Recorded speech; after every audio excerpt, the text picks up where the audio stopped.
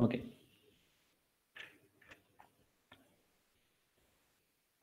So we had discussed exceptions, type of exceptions, uh, checked and unchecked. We've also seen the hierarchy of throwable class and uh, some of the examples. And we have discussed five keywords that are used to handle the Java exceptions.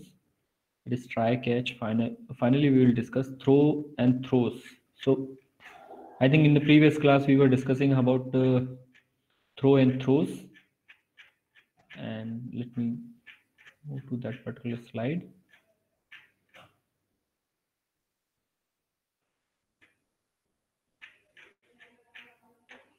So normally if you want to explicitly throw a particular uh, particular exception object, then you use throw. Also, and we have seen how, how we throw an object with an example of validate on the age example where uh, if age is less than 18 then we are throwing in an object of exception class. And one thing that is to be noted that uh, you can only throw an object of exception class not uh, not any random uh, exception random object throws normally we use to declare the exception that your particular uh, code or particular method might generate an exception. Uh, it is most it is uh, mostly used to declare the checked exceptions so that compiler won't uh, give you warning at the compile time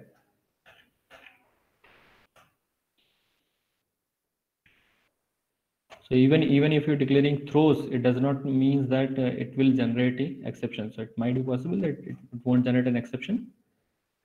However, if you declare the throws, and it might possible that it is generating exception or it is creating exception implicitly or explicitly. Explicitly mean by using throw keyword or implicitly means your program is actually uh, having some uh, finding some uh, exceptions and uh, throwing an object object so in both the cases, throws is only, only used to declare, not to handle. Also, throw keyword is also used for the throwing an explicit object. Handling exception is different. And for handling it, you use try and catch block. So last, I think this was the uh, example that we have seen in the last class from here we were we were about to discuss. So what are the basic uh, differences between throw and throws? First is uh, throw keyword is used to explicitly throw an exception where throws keyword is used to declare an exception. That two things two different things. Checked exception cannot be propagated using throws only. The checked exception can be propagated with throws uh, throws is followed by an instance that is object and normally when you write throws it is followed by a class of exception class. And throws is throw is actually used inside a method and uh, where where you write throw and the object of exception class that is for uh, starting with a new keyword and the exception class constructor. Where throws is generally used with the method signature that this particular method might uh, throw an exception. You cannot throw multiple exceptions so aisa nahi hai ki aapne throw likha throw new or uh, some constructor you have written from object and some other constructor you are also writing. So you cannot throw multiple exception. However you can declare multiple exception uh, you can declare multiple exception using throws. So यहाँ पे जो example लिखा है जैसे एक particular method है method with method name throws five exception comma SQL exception so you can declare multiple exception class with throws key but it is not possible with to throw a multiple object so now we uh, we have arrived to one uh, fifth keyword that is finally block so with the same uh, name that is final, we have seen three things: final keyword, finalize method, and now the finally block. So final keyword that uh, is similar to the constant that we have seen, where you declare a variable or method or a class final, then you cannot inherit it, or you cannot change it, or you cannot override it. These are the basic uh, properties of final keyword. Finalize we have seen in the garbage collection.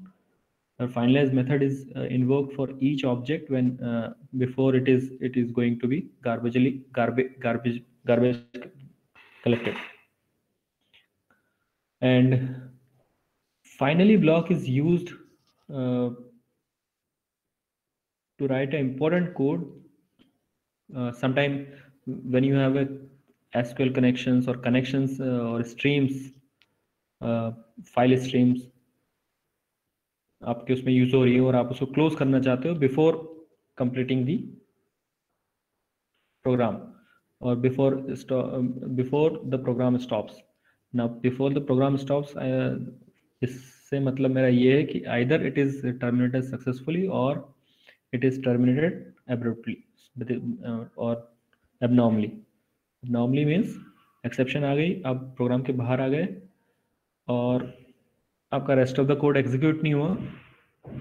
But in such cases still you want to execute some portion that is that is important then you can use final block so इसका मतलब ये है कि Java final block is always executed whether exception is handled और not and it is always followed by the try or catch block. Must be followed by the try or catch block. So that is normal scenario. If you have written a, a code if exception occurred inside the code एक second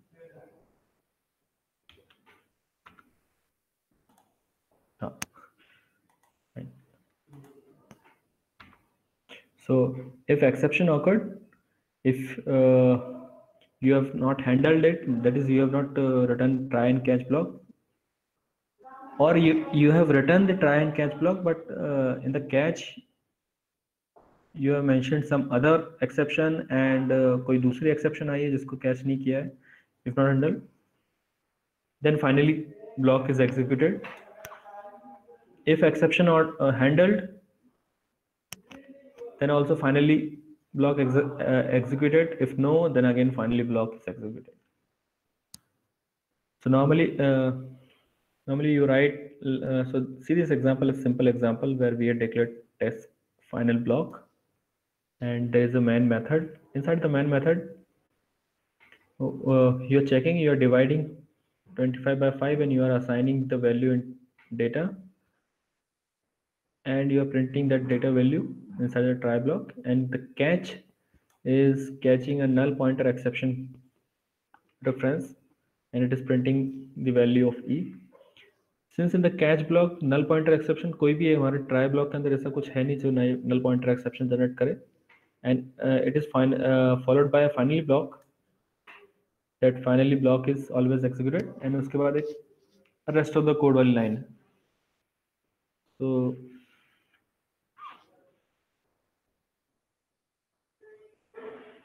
one second. Hmm. So in that case, uh,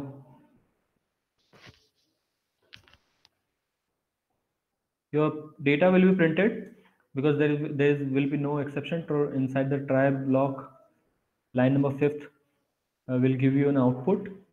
Catch since we are not since there is no exception will occur, so the catch will block will not be executed Only try block will be executed and at the line number at eight finally block जो exception नहीं आई है तब भी वो execute हो गई and rest of the code in the same case uh, if we just modify it by writing 25 by 0 now the exception will occur at, at line number 4 but still we have not handled it so catch block में देखोगे तो आप we are still still catching the null pointer exception, but we have not handled it, the arithmetic exception that will occur at line number four.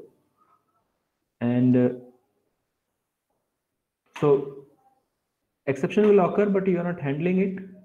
Again, the finally block will be executed. So what will happen when you run it? यहाँ पे exception I तो आपके line number five execute नहीं होगी जो control होगा वो जा डायरेक्ट जाएगा कैच ब्लॉक पे since catch me you are not handling it so the default handler of java will execute it and it will print exception in the thread main java line dot arithmetic exception divided by zero at line number four still the finally block will be executed because finally block will print finally block is always executed so the rest of code is not executed. Your system out.println data was not executed. But the finally block was executed. So whether exception occurs or not whether you have handled or not the finally block will always be executed. Even if you have uh, exception occurred and you have handled it. So this time you have written arithmetic exception class inside the catch uh, as a argument to catch and you are printing the description of that. So this will this will catch it and print it the stack trace. And even after that the eight uh, the final block at the line number eight will be executed. So all in all if you are uh, if you are handling it again the finally block will be executed. If the exception occurred and you have not handled still finally block will be executed. And if and you have handled it so that's why the uh, rest of the code at line number nine will also be executed. Finally block will always execute it whether exception occurred or not. So till now what we have discussed all the exception classes uh, how they uh, so what are the inbuilt exception classes? We have seen some of the exception classes how we can handle it using try and catch block. And so most of the time implicitly whenever there is a there, there is an exception occurs automatically java uh, jvm throws an ex exception object. However if you want to throw except explicitly for apart from default condition आपको कुछ explicitly throw करना हो then you can use throw keyword and throws keyword is normally used to declare that this particular code might generate an exception so this are things that we have discuss अगर पूरा summarise करें तो अभी तक हमने सिर्फ़ built in classes की बात की है। Create a exception class user define exception class. For that uh, to defining a user uh, user define exception class you have to extend exception class. So if you want to if you want to create user define exception so you have to extend the exception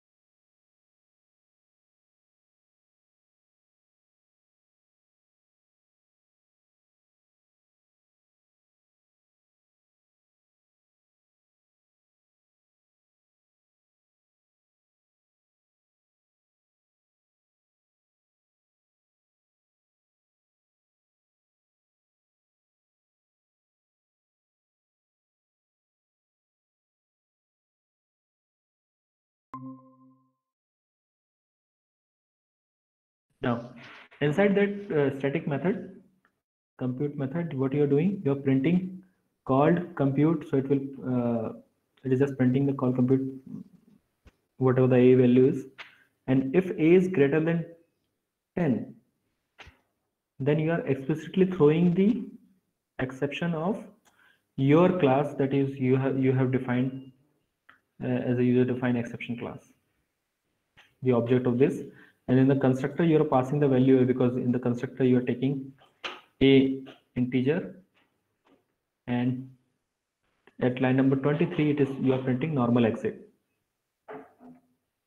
so basically line number 21 and 22 will execute when there will be uh, so, so when there when a will be greater than 10 and that uh, will throw an exception. Now in the main method what you're doing you're calling this method compute method twice with uh, value 1 and with value 20 so when when you're calling compute 20 and you're you're handling it so एक ही example में आपको सारे keywords part from finally आप देख सकते हो throws throw we have used to explicitly throw the object of exception class and that exception class we have uh, defined a user defined class and we have used the throws keyword also to declare that this particular compute method might generate a exception. And inside the man method we have called we have also handled it using try catch block. So in the try catch in the catch we are writing the exception class user ex uh, defined exception class that is my exception. And we are system printing system out dot println e dot to string. So with this reference we are calling the method to string that is there inside the my exception okay so let me just clarify this to string uh, is not overriding the to string method that uh, you have earlier seen which belongs to object class object class के जो to string method थी उसको override नहीं कर रही it is it is just a simple method अब i नहीं है देखोगे यहाँ पे so there is no i so it is not to string it is just to string method uh, uh, specific method to my exception class.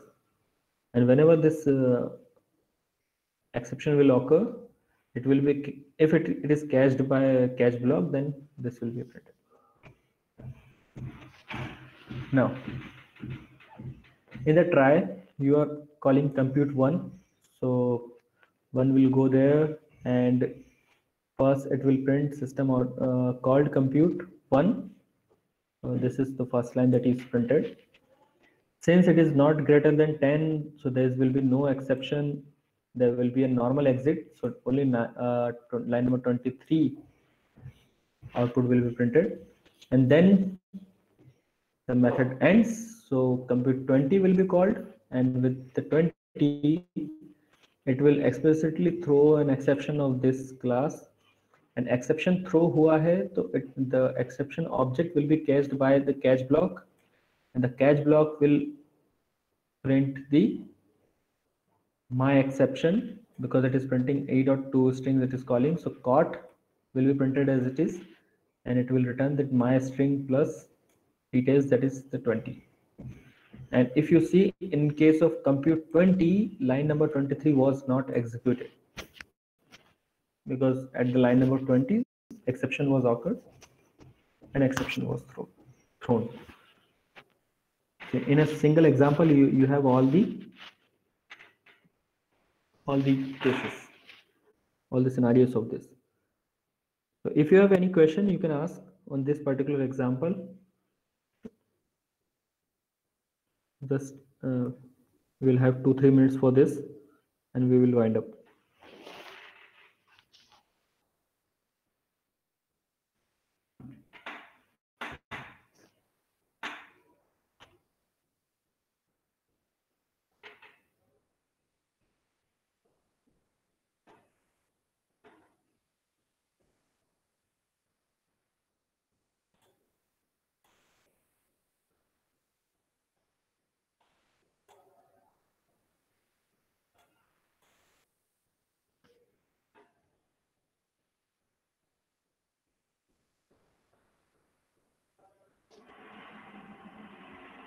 कोई question नहीं है? No question धीरे धीरे स्टूडेंट कम होते आ रहे हैं। There is only thirty two students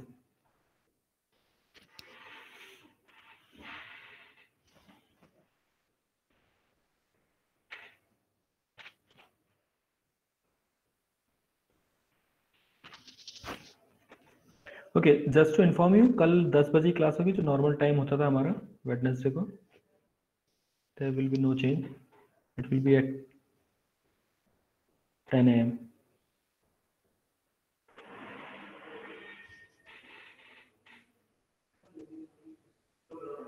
okay so there is no question question i hope so uh, question नहीं है तो मतलब इसका मतलब ये आपको समझ में आ गया होगा Uh, so basically how we can handle the exceptions how we can define a uh, user define exception class and what are the basic uses of throw throws and finally law in java exceptions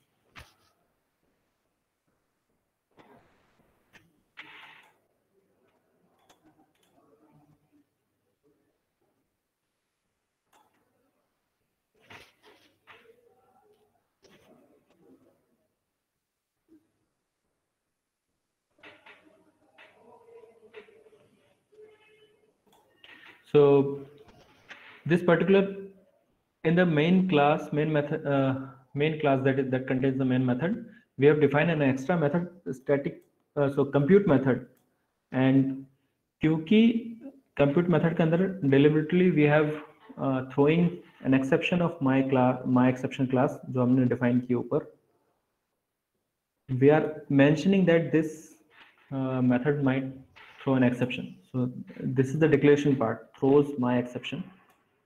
And क्योंकि हमने हमारी class बनाई है, हम चाहते हैं कि उस क्लास का एक्सेप्शन थ्रो उस क्लास का एक्सेप्शन थ्रो करेगी ये, क्योंकि हमने जानबूझकर explicitly we have thrown an object of this class तो बेसिकली इस क्लास जो, इस, ये वाली जो क्लास एक्सेप्शन क्लास का ऑब्जेक्ट थ्रो किया है, इसलिए हमने डिक्लेरेशन में माई एक्सेप्शन लिखा है, इस क्लास में थ्रोज में sorry with the throws.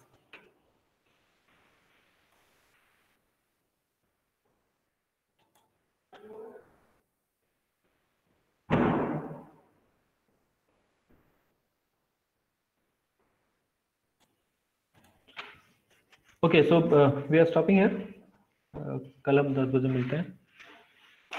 Thank you